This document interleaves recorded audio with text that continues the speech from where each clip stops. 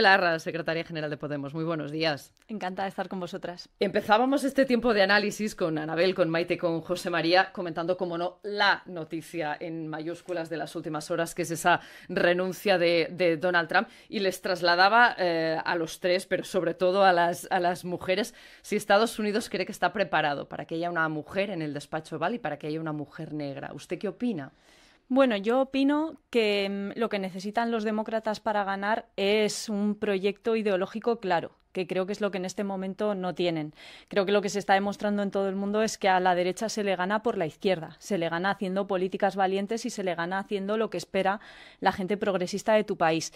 Y sin embargo, la administración Biden ha sido la que ha dado un apoyo cerrado al genocidio que Israel está cometiendo contra el pueblo de Palestina. Kamala Harris ha sido parte de esa estrategia y ha sido muy beligerante en su apoyo a un Estado genocida como el de Israel y, por tanto, yo anticipo que si no se produce un giro fuerte en ese planteamiento ideológico, va a ser muy difícil que ganen las elecciones con todo lo que eso significa, no solo para Estados Unidos, sino para el conjunto de, los países occidentales. Yo estoy preocupada, la verdad. Hay otra cuestión que ha puesto de manifiesto eh, todo este episodio, que es eh, si la política tiene límites de edad. Es decir, si dependía, como dice el ministro, no tanto de la edad, sino de las capacidades de uno, de cómo se encuentre, o si, eh, dada la intensidad con la que vivimos y con la que se vive la política actual, eh, bueno, pues igual uno hay que, hay que bajarse antes. Yo creo que no es bueno caer en, edadismos, ¿no? En un planteamiento generalista por la cual cuando llega una determinada edad o si no tienes una edad determinada. Recuerdo una entrevista que yo hice en este mismo plato en la que me dijeron que yo era insultantemente joven, ¿no? ya no soy tan joven, tengo que decir, pero, pero sí que es cierto que existe como un sesgo por el cual solo puedes hacer política si eres un hombre de mediana edad heterosexual históricamente, ¿no? Yo creo que eso tenemos que dejarlo atrás y que lo importante es que las personas que estén al frente tengan eh, la energía, la fuerza y sobre todo la firmeza ideológica de defender hasta el final sus ideas, ¿no? Es lo que yo creo que es más valioso en una persona que, que aspira a ser representante público, que puedas confiar en su palabra, que tengas claro cuál es el proyecto que defiendes para la ciudadanía, a mí eso me parece más, más valioso que la edad concreta que tengas.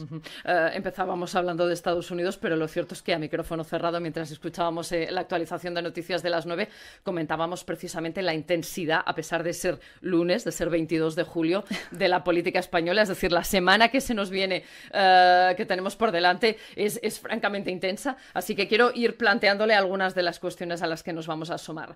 Para empezar, hoy comienza la ronda de contactos de Félix Bolaños y de Ernest Urtasun con los grupos para hablar del, plan de regeneración democrática. Em, en el caso de Podemos, ¿qué les van a trasladar?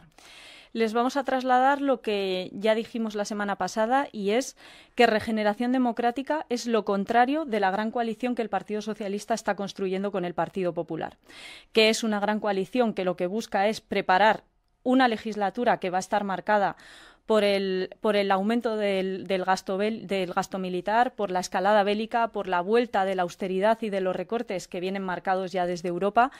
Creo que el Partido Socialista está mirando al Partido Popular y, y, que lo está haciendo precisamente para preparar esa legislatura que viene, que va a ser muy difícil porque está marcada, como digo, por líneas políticas que se marcan en Europa que claramente están señalando un aumento del gasto militar, una escalada bélica y la vuelta de los recortes. Desde mi punto de vista, eso es lo que señala la comparecencia del presidente el otro día. Si recordáis, todo el rato el presidente se dirigió al Partido Popular. En ningún momento se dirigió a la mayoría democrática que le ha hecho presidente le ha dado la espalda a esa mayoría y lo que está haciendo es mirar al PP para poder construir esas políticas que son las que se le van a pedir desde Europa y que son las que el Partido Socialista ha elegido eh, para España. ¿no? Entonces, lo primero que le vamos a decir a, Félix Bolaños y Ernest Urtasun es que para poder avanzar en regeneración democrática tienen que romper ese acuerdo. Un acuerdo que lo que viene es a legitimar la guerra sucia. Recordemos que hace escasos días, es que es eh, tremendo, hace escasos días se supo, negro sobre blanco, que el Partido Popular espió a 55 diputados y diputadas de Podemos con nombres y apellidos, utilizando a la policía y el Ministerio del Interior para perseguir a adversarios políticos de forma absolutamente espúrea. Con ese Partido Popular no se puede pactar nada, pero menos aún una renovación de un Consejo General del Poder Judicial que es el responsable de los ascensos, de qué personas van a estar al frente de los altos tribunales, es decir, de, la, de, cómo, de si va a ser posible o no la regeneración del Poder Judicial en España. Y con ese acuerdo es evidente que se viene a legitimar la guerra, la guerra sucia judicial. Eh, en el centro del debate, una vez más, vuelve a estar la cuestión de la ley Mordaza eh, casi una década después. Em, es cierto que, eh, digamos que fue, esbozó solo unas grandes líneas el, presidente en su comparecencia del miércoles, le dedicó apenas una frase, pero eh, eh, dio a entender dónde acotaba el debate en la cuestión de lo referente a la libertad de expresión. ¿Están de acuerdo? ¿Cree que hay que ser más ambicioso en la derogación ahora sí de esa ley? Fíjate que lo que hemos aprendido en estos años es que independientemente de lo que esté escrito en la ley, puede ser la ley solo si es sí, puede ser la ley de amnistía, con esta judicatura y con los sectores reaccionarios eh, atrincherados en el Poder Judicial, da un poco igual lo que ponga en esa ley, porque al final quien la está aplicando está, ha, decidido, ¿no? ha tomado una decisión de hacer política en España. Y a mí esto me parece enormemente preocupante, porque con el acuerdo que han firmado para el Consejo General del Poder Judicial, Marchena y Arena, por ejemplo, no van a recibir ningún reproche, ni social ni penal, por haber retorcido la ley de amnistía para que no se apliquen los términos que decidió el Congreso de los Diputados, que es la sede de la soberanía popular. Tampoco va a recibir ningún reproche penal García Castellón, que no solo intentó acusar de, terrorismo a líderes independentistas, sino que ha perseguido a mi, a mi organización política durante varios años haciendo inspección, eh, investigación prospectiva, que es algo que está prohibido. Por tanto, a mí me parece que sí, podemos hacer avances legislativos, pero mientras sigamos teniendo este acuerdo para los jueces, este, un Consejo General del Poder Judicial que no tiene un mandato claro de lucha contra la corrupción judicial, piensa que qué diferente sería un consejo en el que hubiera mayoría progresista y donde estuviera, por ejemplo, Victoria Rosell, la única superviviente del Laufer que ha conseguido meter en la cárcel al responsable de ese Laufer, que es el juez Alba. Por tanto, mm, muy bien, o sea, bienvenido el debate, pero yo creo que la gente se está cansando de medidas trampa, de anuncios que luego quedan en nada. Es que es, que es muy duro escuchar al gobierno una y otra vez diciendo cosas que suenan bien, anunciando que el permiso de ocho semanas va a estar remunerado, anunciando que se va a derogar la ley Mordaza y que luego todo el tiempo quede en nada. Así es imposible. Así lo que se está haciendo es ponerle una alfombra al Partido Popular. Eh, señora Belarra, eh, decíamos, hoy empiezan esos contactos para la cuestión de la, regeneración democrática, para empezar a plantear eh, ese, plan. Mañana pleno largo, denso en el, Congreso. Por ejemplo, llega el decreto anticrisis. ¿Ha habido contactos con el Gobierno? Usted se ha mostrado muy crítica con esta cuestión de la regeneración. No sé cómo, cómo, cómo, es, porque a menudo se, le, digamos, se le afea al, al Gobierno la falta de diálogo y de negociación con sus aliados parlamentarios. No sé si se ha producido en este caso o no. Bueno, yo creo que aquí hay dos elementos. Uno, que independientemente de lo que haga ya el Gobierno, a mí lo que me preocupa es que este acuerdo para el Consejo General del Poder Judicial, que legitima la guerra sucia en un momento además en el que el presidente del Gobierno está sufriendo, empezando a sufrir lo que muchas llevamos sufriendo una década, que es un acoso judicial contra su familia, creo que en ese contexto darle esto a la derecha, permitirle eh, legitimar esa guerra sucia contra, con, haciendo como están, con lo que están haciendo contra la familia del presidente, a mí me parece que es de, verdad contrario a la regeneración democrática. Es volver 15 años atrás en la historia de este país. Dicho eso, yo creo que por muchos anuncios, por muchas medidas de maquillaje, medidas trampa que traiga el, gobierno, es muy difícil tapar que han elegido un camino cuyo, en el que el socio principal del Partido Socialista es el Partido Popular, tanto para esto como no hay más que ver cómo están negociando eh, la ley de la reforma de la ley, eh, la PL, digamos, para la reforma de la ley de extranjería, que lo que evidencia es que están tendiendo en la mano al Partido Popular, el socio que buscan es el Partido Popular, y en ese contexto... Sin embargo, el Partido Popular dice que han roto las negociaciones. claro. Sí, sí, porque yo creo que es evidente que a esta derecha, cuando le das la mano, lo que quiere es cogerte el brazo. O sea, Creo que el Partido Socialista, rindiéndose en este acuerdo con los jueces, lo que buscaba era, de alguna manera, que parase la estrategia golpista, abiertamente golpista, que tiene el Partido Popular, pero al, revés. La derecha, cuando haces eso, se envalentona. La derecha se le frena siendo valiente y, por la izquierda, no cediéndole, cediendo como han cedido eh, con, este acuerdo. Y respecto al decreto anticrisis, nosotras le hemos transmitido al Gobierno una idea muy sencilla que es Podemos va a utilizar su fuerza política e institucional siempre para tratar de conseguir los máximos avances para la ciudadanía de nuestro país, señalando en este caso que el camino que ha elegido el Partido Socialista para esta legislatura es un error y pensamos que este acuerdo para los jueces entierra las posibilidades de una legislatura progresista. Pero, por lo menos, con la fuerza institucional y política que tenemos en este momento, con los votos de Podemos no se van a hacer recortes. Y ese eh, escudo, la prórroga del escudo social la estrategia que está utilizando el gobierno es ir colando, como ya hicieron con el subsidio para mayores de 52 años, ir colando recortes aquí y allá, de manera que sea más ligero ¿no? todos esos ajustes que tienen que hacer precisamente porque se han recuperado ya las reglas de austeridad en Europa y porque tienen compromisos de gasto militar muy importantes. Los votos de Podemos no van a servir para eso. Van a servir, por lo menos, para frenar los recortes. Lo que tiene que hacer el Gobierno es retirar ese, desmantelamiento del bono social eléctrico que han incluido en el escudo, desdibujado, entre otras cosas que no están mal, pero eso con los votos de Podemos no se va a hacer. Ellos lo saben y estamos esperando una respuesta siempre en el último minuto. Eh, iba a decir, esa, esa apelación o ese titular que hacemos a veces los periodistas, ¿no? Apelando a la geometría variable, a Podemos no le vale, porque es decir, eh, usted me dice, bueno, eh, cuanto más se acerquen al Partido Popular para intentar sacar adelante cuestiones tan relevantes como, por ejemplo, la renovación del Poder Judicial, que llevaba prácticamente eh, seis años bloqueado, con nosotros que no cuenten, ¿no? Es como una manta, si se tapan los pies, nos destaparemos por arriba.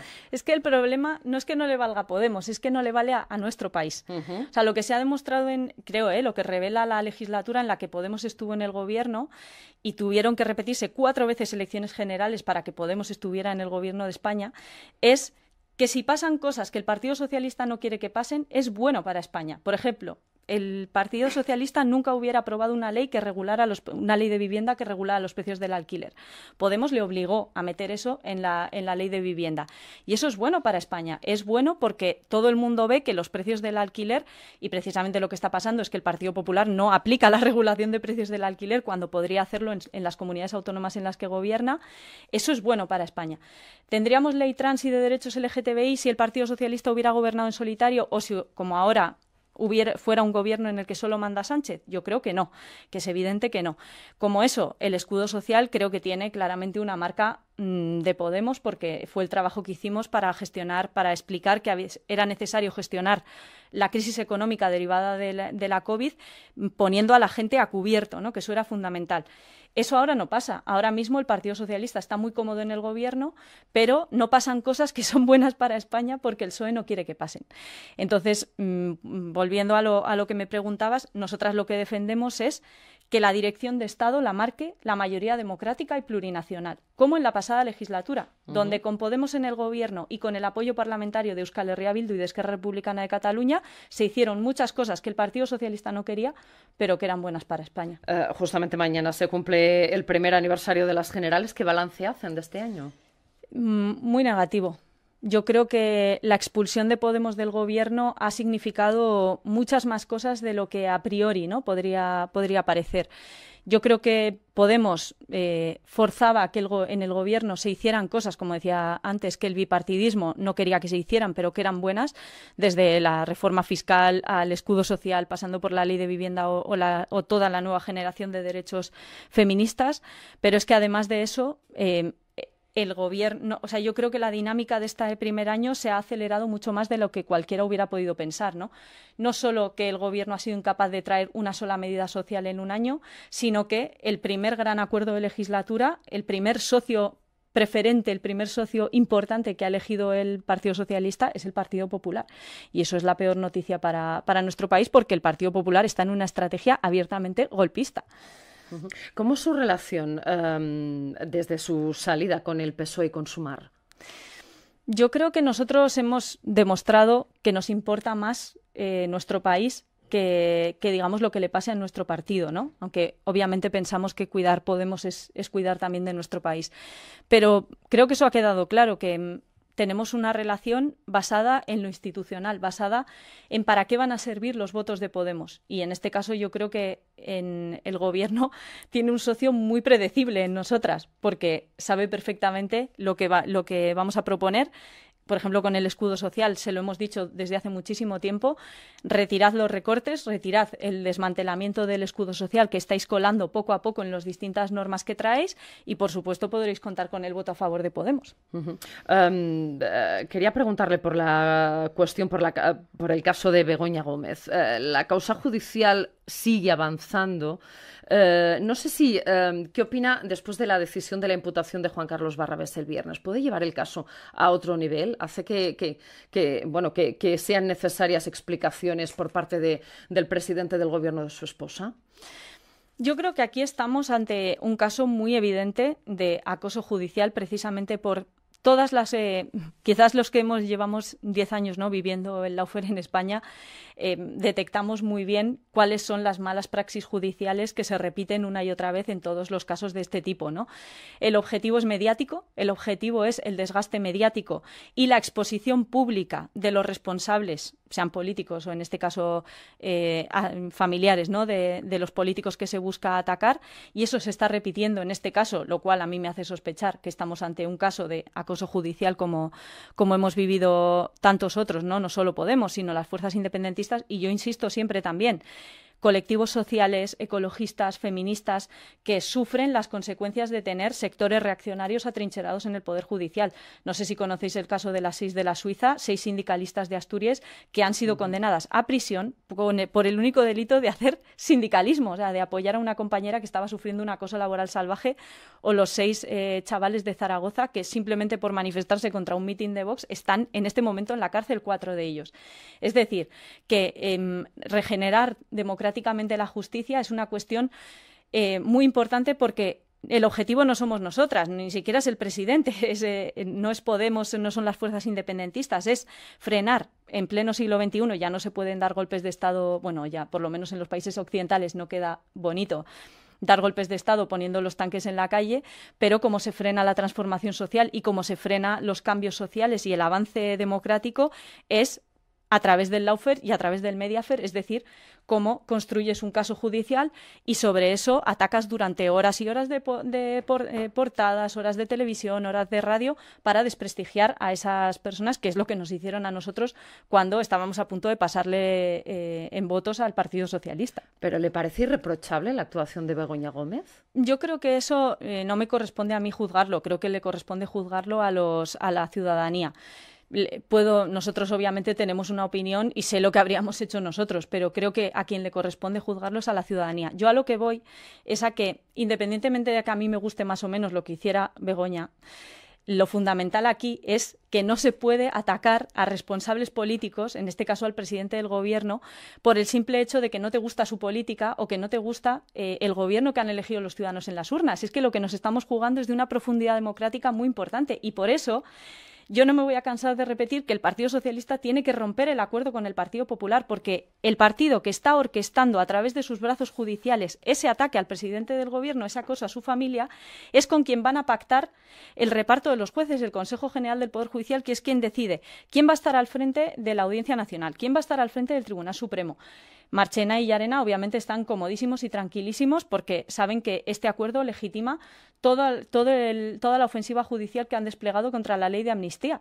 Por tanto, romper el acuerdo con el Partido Popular es el primer paso para que podamos hacer frente a casos como este. Yo, a mí me parece verdaderamente que es una rendición del presidente. Es una rendición del presidente sabiendo lo que le están haciendo, que ahora le empieza a tocar a él lo que nos ha tocado a todas en, en estos diez años.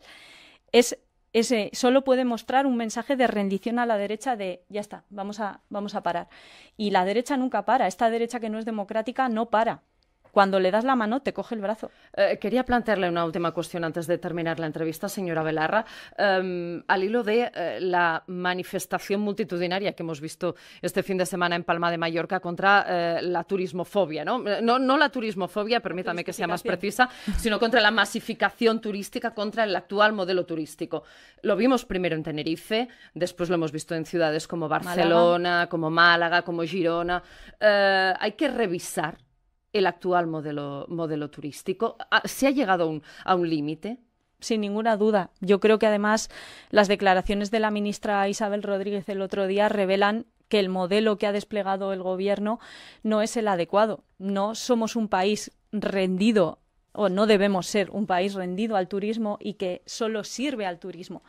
Nosotros somos un país en el que tenemos la obligación de garantizar el derecho a la vivienda para nuestra ciudadanía y el problema es que habernos rendido a la turistificación está haciendo invivible, pero bueno, es que yo creo que los oyentes lo deben saber. Hay gente en, las Islas Baleares, funcionarios públicos, médicos, profesores, que no pueden pagarse una vivienda, que están viviendo en caravanas, Policía Nacional, guardias civiles, gente que no quiere ir allí, aunque es de allí, precisamente porque no se puede permitir una vivienda. Entonces, yo creo que la clave es que necesitamos una intervención pública del mercado del alquiler y del, y del mercado de la vivienda firme. Por ejemplo, una cosa que en los Países Bajos está funcionando muy bien, que es prohibir la compra de vivienda que no sea para residir. Las casas son para vivir. Eso es un derecho fundamental que está recogido en nuestra Constitución y en toda la legislación internacional. Hacer turismo, lo siento mucho, pero no es un derecho fundamental primero, derechos para la gente que vive en los municipios y en los pueblos y después, si se puede, por supuesto, bienvenido el turismo y bienvenido el desarrollo económico. Pero lo fundamental es que la gente pueda vivir en el sitio del que es. Y eso, por ejemplo, esta medida a mí me parece fundamental. En España se tiene que prohibir la compra de vivienda hasta que resolvamos la emergencia habitacional de viviendas que no son para vivir, porque tenemos mucha gente que vive aquí que no se puede permitir una vivienda, muchos jóvenes compartiendo vivienda porque no, porque no pueden pagar una. Yone Belarra, secretaria general de Podemos, muchísimas gracias por acompañarnos esta mañana. Hasta la próxima. Un placer.